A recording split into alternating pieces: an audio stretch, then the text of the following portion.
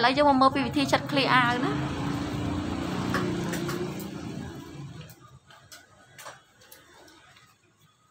ចាអញ្ចឹងយើងត្រូវយកដៃរបស់យើងចា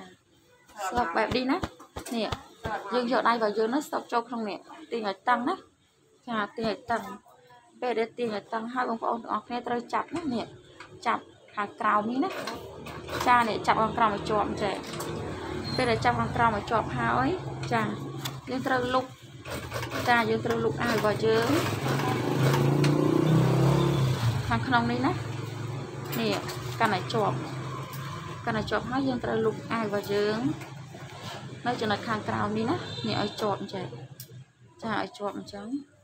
តោះមកយើងឆិតឃ្លៀកកន្លែងនឹងមួយណាចាឆិតក្រោមឃ្លៀកនឹងមួយ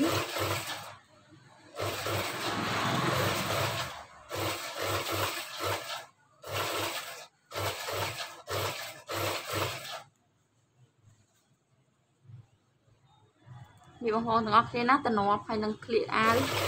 ចាខិតជាមួយគ្នា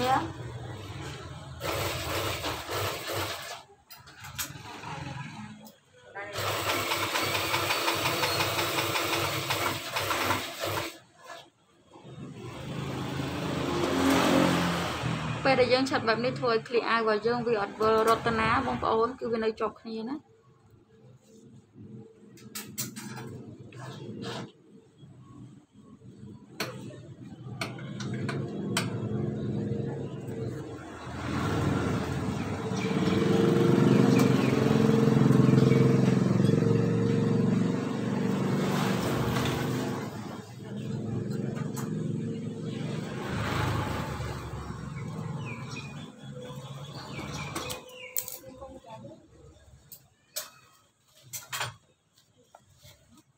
ចាបងប្អូនទាំងអស់គ្នាអញ្ចឹងឃ្លីអាវរបស់យើង